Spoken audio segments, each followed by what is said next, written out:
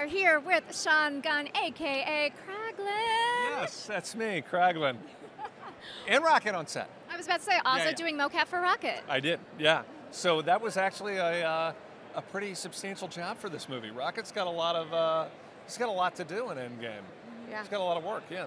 Well, and it's really amazing. A lot of for, particularly for fans of Rocket, because I'm a huge Rocket fan. You know, how, what does it take to embody Rocket on set? Well, I think that you have to know where Rocket is coming from.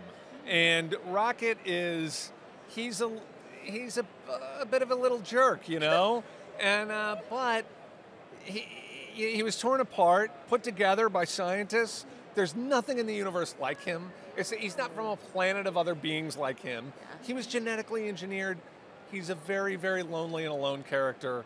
He lashes out, but God bless him, he's got a heart of gold at the end of the day. And Yeah. I, uh, I kind of always wondered if maybe he and Nebula bonded over that because they are such unique, distinct characters in that way. I, I, I like that question, and let's discuss that further next time I see you because in this movie we'll see that Rocket and uh, Nebula have some more stuff together that we haven't seen. So we'll see.